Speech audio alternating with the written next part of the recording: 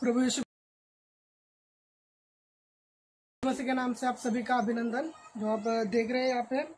आज जैसे कि हम जानते हैं कि फ्राइडे का दिन है और इस फ्राइडे को गुड फ्राइडे करके हम लोग मानते हैं और मनाते हैं। और गुड फ्राइडे उस समय मनाते हैं जिस समय यीशु मसीह क्रोस पे था और क्रोस पे और जब था, उसने सात बातों को क्रोस पे कहा था। उसमें से वो एक बात है जो हम, मैं यहाँ पे आपके सामने प्रस्तुत करने वाला हूँ, जो दूसरा दो नंबर का बात है वो है जब वो क्रूस पे था, उसने कहा था एक चोर से कि तू आज मेरे साथ स्वर्गलोक में होगा। तो यहाँ पे हम देखते हैं कि लुकार चिशु समाचार उसका तेईस अध्याय, उनतालीस से त्रयालीस तक, कि वहाँ पे जब हम देखते हैं उस सिचुएशन को, जब यीशु मसीह क्रूस पे था, उसके दोनों ओर दो चोर लोग को टंगाया गया था।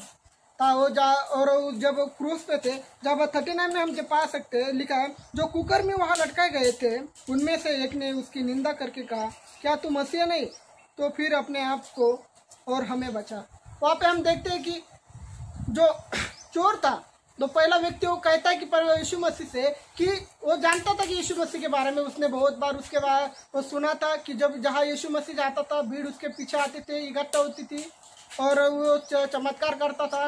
लोग बहुत से लोग उसको परमेश्वर बोलते थे। वो जानते थे कि वो परमेश्वर का बेटा है, पुत्र है।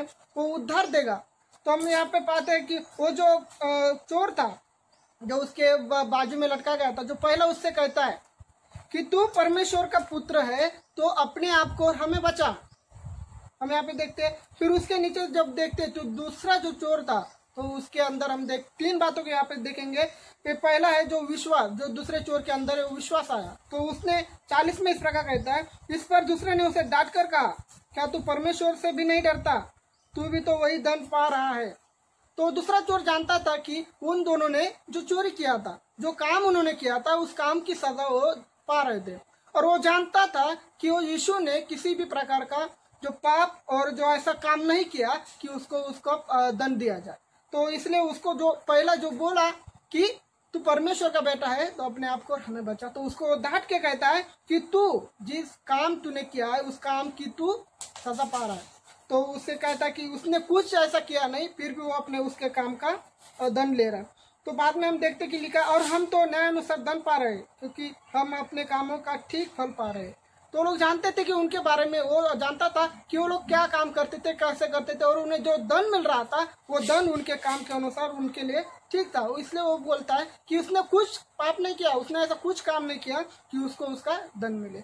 जब हम आगे पाते हैं फोर्टी टू में ऐसे लिखा, तब उसने कहा, तब वो चोर जो था, दूसरा जो उसको डांट के, उसको डांटने के बाद वो परमेश्वर की तरफ़, वो यीशु की तरफ़ देख के उससे बोलता है, हे यीशु, जब तू अपने राज्य में आए तो मेरी सुधी लेना।